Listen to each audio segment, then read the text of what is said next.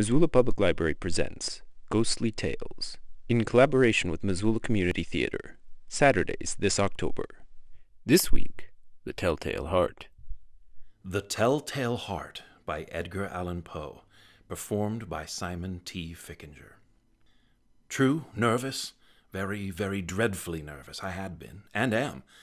But why will you say that I am mad? The disease had sharpened my senses, not destroyed, not dulled them. Above all was the sense of hearing acute. I heard all things in the heaven and in the earth. I heard many things in hell. How then am I mad? Hearken, and observe how healthily, how calmly I can tell you the whole story. It is impossible to say how first the idea entered my brain, but once conceived, it haunted me day and night. Object there was none, passion there was none. I loved the old man. He had never wronged me, he had never given me insult. For his gold I had no desire. I think it was his eye. Yes, it was this. He had the eye of a vulture, a pale blue eye with a film over it. Whenever it fell upon me, my blood ran cold. And so, by degrees, very gradually, I made up my mind to take the life of the old man, and thus rid myself of the eye forever. Now, this is the point. You fancy me mad, but madmen know nothing. You should have seen me. You should have seen how wisely I proceeded, with what caution, with what foresight, with what dissimulation I went to work. I was never kinder to the old man than during the week before I killed him, and every night, about midnight, I turned the latch of his door and opened it, oh, so gently. And then, when I had made an opening sufficient for my head, I put in a dark lantern, all closed, closed, that no light shone out. And then I thrust in my head. Oh, you would have laughed to see how cunningly I thrust it in. I moved it slowly, very, very slowly, so that I might not disturb the old man's sleep. It took me an hour to place my whole head within the opening, so far that I could see him as he lay upon his bed. Ha! Would a madman have been so wise as this? And then, when my head was well within the room, I undid the lantern cautiously, oh, so cautiously, cautiously, for the hinges creaked. I undid it just so much that a single thin ray fell upon the vulture eye. And this I did for seven long nights, every night, just at midnight. But I found the eye was always closed, and so it was impossible to do the work, for it was not the old man who vexed me, but his evil eye. And every morning, when the day broke, I went boldly into the chamber and spoke courageously to him, calling him by name in a hearty tone and inquiring how he had passed the night. So you see, he would have been a very profound old man indeed to suspect that every night, just at twelve, I looked in upon him while he slept. Upon the eighth night, I was more than usually cautious in opening the door. A watch's minute hand moves more quickly than did mine. Never before that night had I felt the extent of my own powers, of my sagacity. I could scarcely contain my feelings of triumph to think that there I was, opening the door little by little, and he not even to dream of my secret deeds or thoughts. I fairly chuckled at the idea, and perhaps he heard me, for he moved on the bed suddenly as if startled. Now you may think that I drew back, but no. His room was black as pitch with the thick darkness, for the shutters were fastened through fear of robbers. And so I knew that he could not see the opening of the door, and I kept pushing on it steadily, steadily. I had my head in, and was about to open the lantern, when my thumb slipped upon the tin fastening, and the old man sprang up in bed, crying out, Who's there? I kept quite still and said nothing. For a whole hour I did not move a muscle, and in the meantime I did not hear him lie down.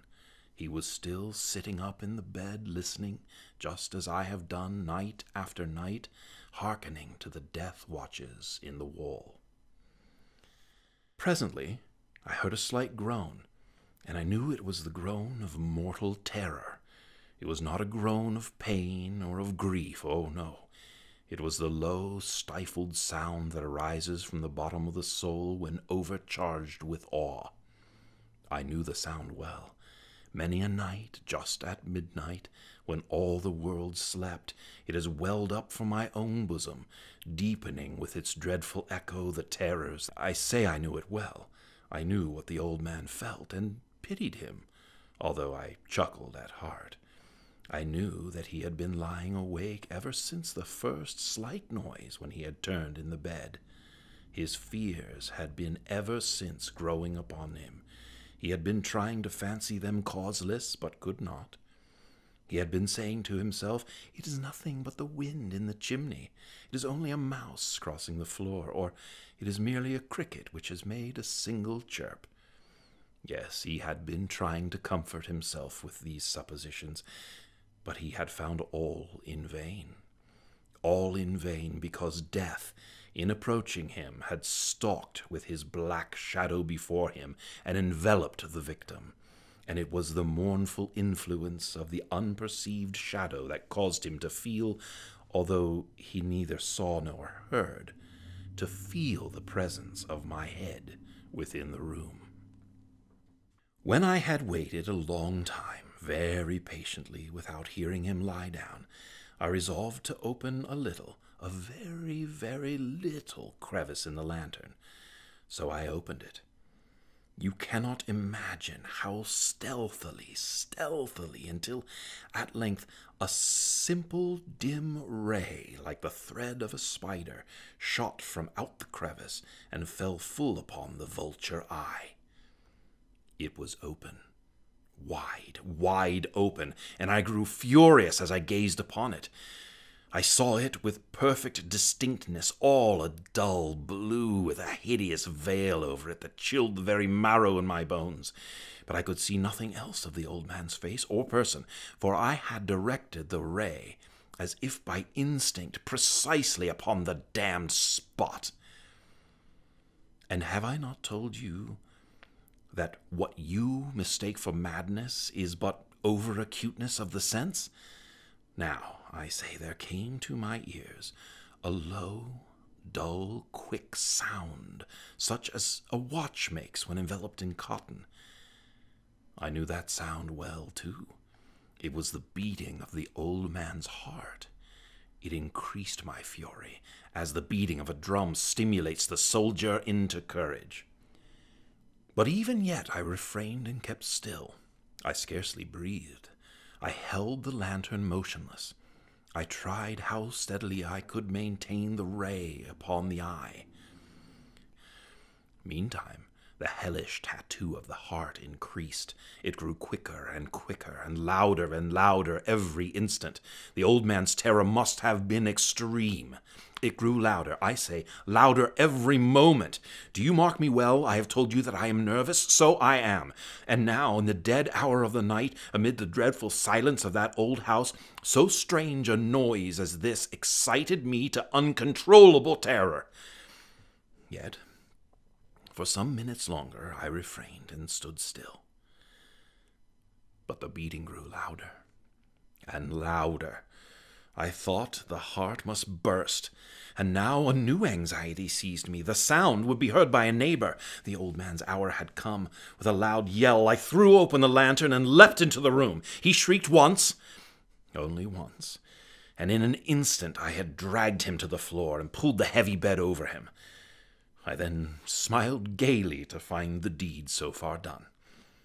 But for many minutes the heart beat on with a muffled sound but this, however, did not vex me, and at length it ceased. The old man was dead.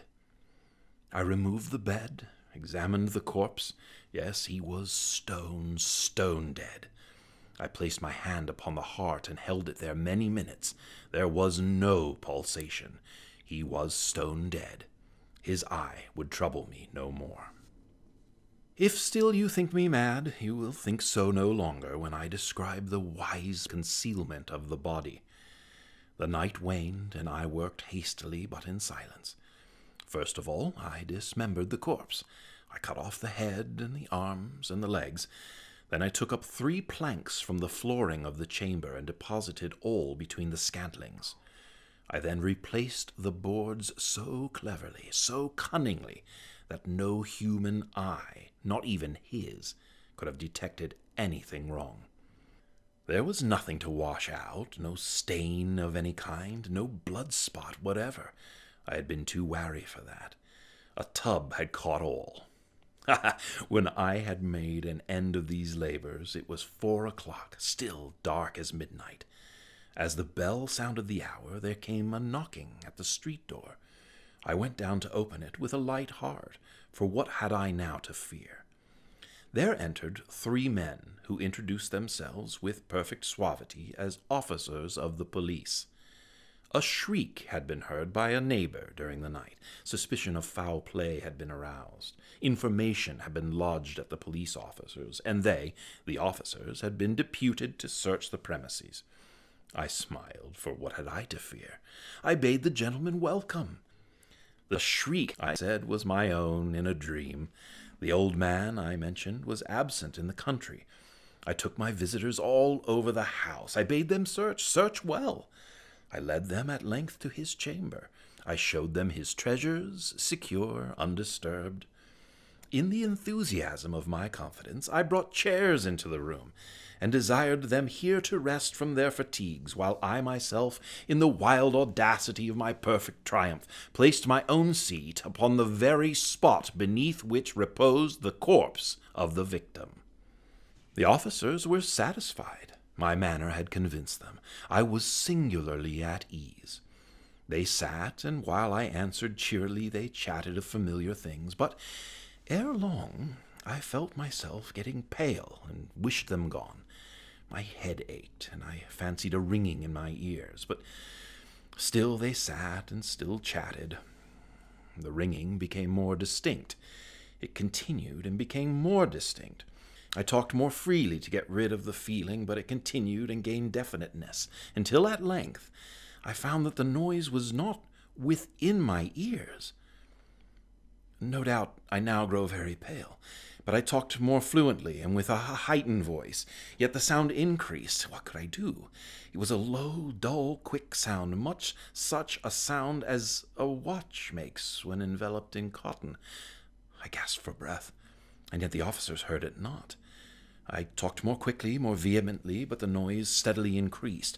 I arose and argued about trifles, in a high key and with violent gesticulations, but the noise steadily increased. Why would they not be gone?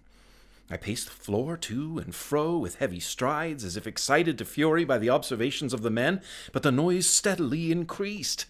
Oh God, what could I do? I, I foamed, I raved, I swore. I swung the chair upon which I had been sitting and grated it upon the boards. But the noise arose over all and continually increased. It grew louder and louder, louder, and still the men chatted pleasantly and smiled. Was it possible they heard not? Almighty God, no, no, they heard. They suspected, they knew. They were making a mockery of my horror. This I thought, and this I think. But anything was better than this agony. Anything was more tolerable than this derision.